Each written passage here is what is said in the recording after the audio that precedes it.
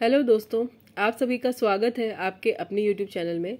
और अब हम शुरू करने वाले हैं आज रात वाली पढ़ाई, जो कि थोड़ी थोड़ी नींद के साथ में हमें करनी है। इस समय लगभग सभी लोगों को नींद आने लगती है, लेकिन फिर भी हम एग्ज़ाम के वजह से जग के पढ़ रहे होते हैं। तो चलिए शुरू करते हैं। क्वेश्चन नंबर ट्वेंटी टू इसके पहले ट्रांसफ़र ऑफ़ प्रॉपर्टी है कि एमसीक्यू के मैंने दो वीडियो डाले हैं, आप चाहें तो जाके देख सकते हैं प्लेलिस्ट पे आपको मिल जाएँगे।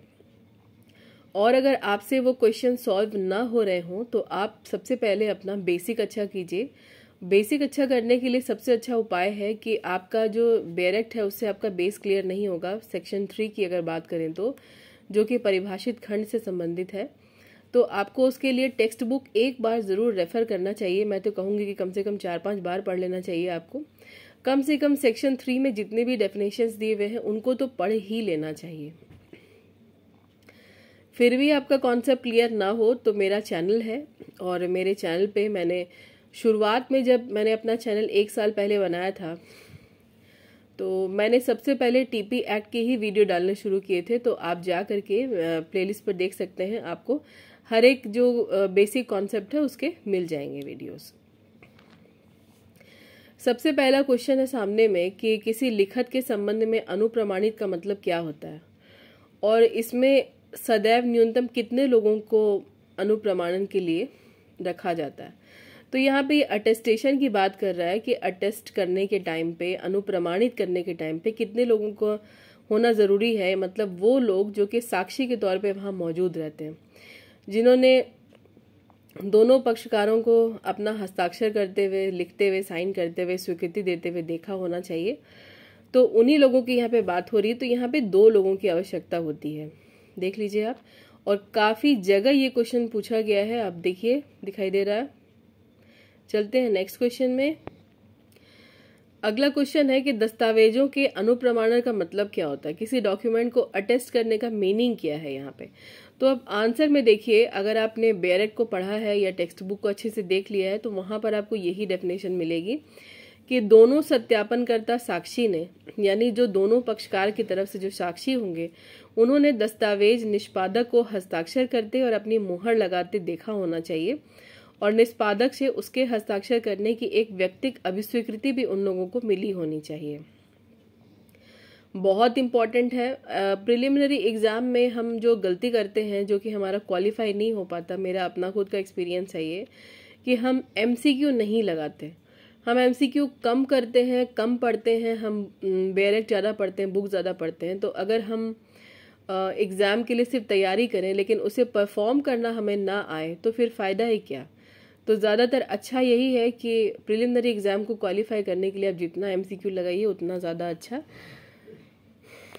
नेक्स्ट क्वेश्चन है क्वेश्चन नंबर ट्वेंटी फोर संपत्ति अंतरण अधिनियम की निम्नलिखित में से कौन सी धारा सूचना को परिभाषित करती है? तो ये तो ये आपको इंटरप्रिटेशन क्लॉज में ही मिलेगी। तो ये धारा तीन में है। नेक्स्ट क्वेश्चन है कि संपत्ति अंतरण अधिनियम अठारह सौ बयासी के अंतर्गत किसी भी व्यक्ति को किसी तथ्य की सूचना है। ऐसा कहा जाता है, कब? जबकि उसे उस तथ्य का वास्तव में ज्ञान हो, तभी पता चलेगा कि उसे उसकी सूचना है या नहीं। आंसर में भी यही है। क्वेश्चन नंबर ट्वेंटी सिक्स, संपत्ति अंतरण अधिनियम किस संबंध में विचार नहीं करता तो ये संव्यवहार में सूचना पर विचार नहीं करता, वास्तविक, निहित और आरोपित सूचना पर विचार करता है। मैं आपको बार बार बोलती आ रही हूँ और मैंने तीनों वीडियो में यही बात जो है रिपीट की है कि आप इंटरप्रिटेशन क्लॉज जो है, यानी परिभाषित खंड, यानी धारा तीन को कृपया आप अपनी टेक्स्ट बुक यानी किताब से ही पढ़ें। वहीं पे ये जो क्वेश्चन है, आपके ये जो है बेसिक सॉल्व हो पाएँगे, नहीं तो ये आपको दिक्कत करेंगे एग्ज़ाम में। चलिए नेक्स्ट क्वेश्चन की तरफ़। स्टेटमेंट नंबर ए यानी अ कहता है कि संपत्ति एक व्यापक शब्द होता है और इसमें कॉपीराइट भी शामिल है। ये बात बिल्कुल सही है। कॉपीराइट uh, जो है वो एक मूवेबल प्रॉपर्टी है। दूसरा कि संपत्ति अंतरण अधिनियम में पेटेंट सहित सहित सभी प्रकार की संपत्तियों को शामिल किया गया है।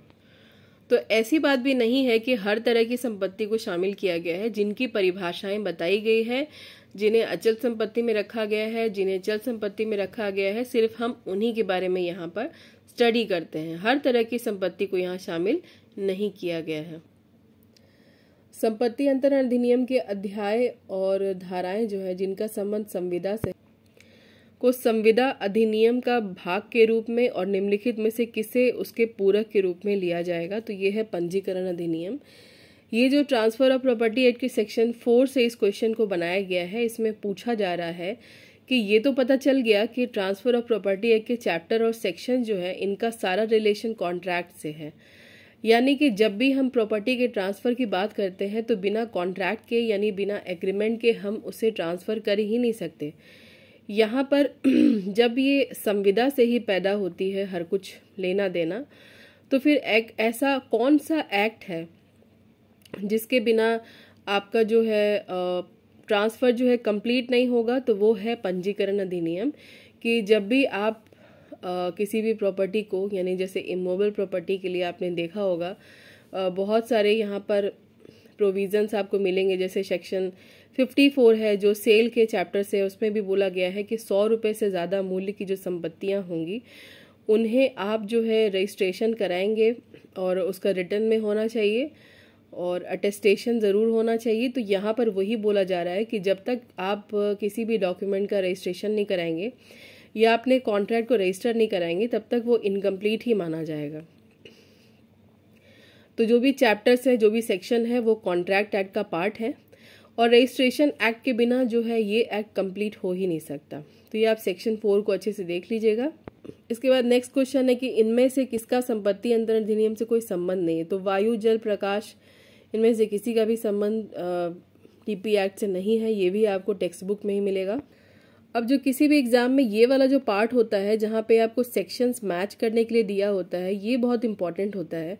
इससे आपको ये पता चलता है कि आपको सेक्शंस को ज़रूर देखना तो कुछ सेक्शंस ऐसे होते हैं जो कि बहुत ज़्यादा इंपॉर्टेंट नहीं होते, इसीलिए उनका या तो सिर्फ़ हेडिंग पूछा जाता है या क्वेश्चन मैच करने के लिए आता है सेक्शन के साथ में। तो इसको आप उस तरीके से ही देखिए। तो यहाँ पे बोल रहा है कि कौन सा जो जोड़ा है वो सुमेलित नहीं है। तो स्थावर संपत्ति की जो परिभाषा है वो धारा दो में नहीं, बल्कि धारा तीन में दी गई है। लेकिन भार यानी प्रभार की सौ में ही है। पाश्चिक क्रेता का क्रमबंधन यानी आपने मार्च रूल ऑफ़ मार्शलिंग देखा होगा सेक्शन 56 में है। और बंधकित ऋण जो है 134 में ये बाकी के सारे सेक्शन सही हैं। तो ये देखने से आपको ये पता चलेगा कि ये जो सारे सेक्शन है 100, 56 और 134 ये सब इसी तरीके से पूछे जाते हैं। और वो आपको पता होना चाहिए कि इंटरप्रिटेशन जो है टू में नहीं थ्री में है क्योंकि बहुत सारे एक्ट्स में टू में भी होता है तो कंफ्यूज आपको नहीं होना है। तो आज वाले वीडियो में हम इतने ही देखेंगे क्वेश्चंस आप इसको देख लीजिएगा सुन लीजिएगा और खुद से भी बनाइएगा। और पढ़ते रहिए। पढ़ाई एक भी दिन मत छोड़िए और मन लगा के पढ़िए, अपना ख्याल रखिए। खुद भी खुश रहिए, दूसरों को भी रहने दीजिए। अभी सो मत जाइएगा, अभी पढ़ते रहिएगा। गुड नाइट मेरे तरफ़ से, sweet dreams. And bye bye.